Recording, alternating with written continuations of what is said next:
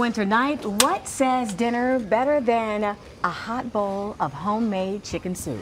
Nothing to me. We've got we've got the man who knows all about it, Executive Chef John Hogan from River Roast Restaurant. John, good to see you again. Good to see you, Corey. It's good Thanks to for see you. being here. And It I wish smells incredible I wish in our here. viewers could smell this right now. Well, Pretty one darn day, good. one day that technology will come full. No, I mean, you can just smell the butter when you walk in here. Yeah. Excellent. So you're basically offering uh, your guests an option to take home their chicken leftovers, Right, right? correct. All right. What's the concept here? Concept is whole roasted chickens, beef, pork, fish, and what we're doing is trying to reintroduce uh, Chicago and hopefully America to what Sunday dinner was all about when we grew up. Right, exactly. So wait a sharing, sharing food. and- Sure. Let, let me back up just for a second. You mean to tell me if somebody comes into the restaurant, they don't eat all of their meal, Right. They can take the chicken home, Yeah. and just make this. You've got a great recipe. You say, just Wi- make some soup With their check, they get a recipe for the soup, which with, we the- have. with Yep. their check. All right. Take us through it. All right, Alright, good so deal. What we do is when we cut the chicken at the restaurant, the server will drop the quarters Mm-hmm. and about two thirds of the breast, and the guests will nosh on that. And then if they like, they can pick at it, but typically two people will be enough for them. So we'll take over that leftover with the meat and the bones, throw it in a pot, and add in a bunch of aromatics, celery Mm-hmm. and carrot, Sure. A little leek. You can do this with your eyes closed, huh, John? Certainly. Um, I, I broke one of my cardinal rules. I, somebody mixed my salt and pepper. Never do this at home. Okay. You, Okay. you put And why salt not? because typically it settles a little bit, and you don't you don't have the ability to season the food properly. Gotcha. Okay. Okay, John. A little chef tip there. Good. Definitely. Yeah. And so what we're going to do with this is let those veggies sweat a little bit, Mm-hmm. and then we're going to add chicken stock over the top. Now you've got the real thing going right there, but we can just use one of those You, little. you can use a chicken little stock in a can. Sure, or- yeah. sure, and, and a little bit of water. Okay. And this chicken gets smoked for about 20 minutes. Okay. So you, those nuances of the smoke come out in the broth, and it really is super special and very warming.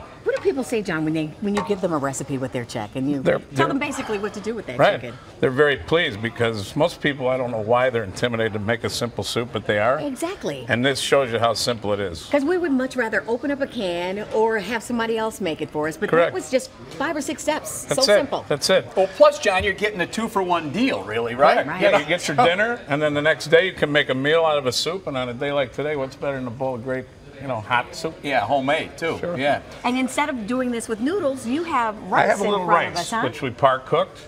Yeah. Uh, you can do it noodles. I, I like lentils, so you Okay. could use any legume, any any uh, pasta. Don't sure. call them noodles. Tony Yeah, right, Mantuano right. says do not call pasta noodles. Right, right. Okay, Sorry, so, okay, I got that. I got that. So- straight. so this is what the uh, what the what it looks like when it comes to your table. It's a Correct. beautiful presentation there. These are sustainably very well raised chickens from Indiana, local product.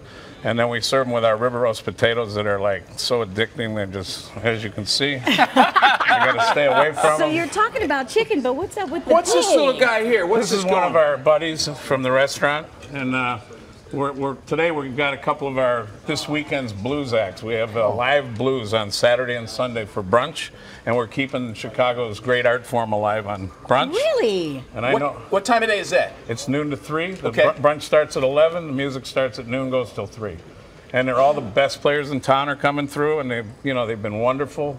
And for me, it's great because when they said you're going to have Saturday, Sunday brunch, and I said I got to get out of bed on Saturday and Sunday morning, I'm going to have the blues. Good, good music. So therefore, good music I'm gonna have the up. blues, Yeah, right? good music oh, will get that's you up. terrific. I went and saw Buddy Guy just a couple Saturdays ago. I'm so going next week before right he's up, done. Right up my alley. So that's Awesome. terrific. Good deal. and your place, uh, again, tell folks where you are.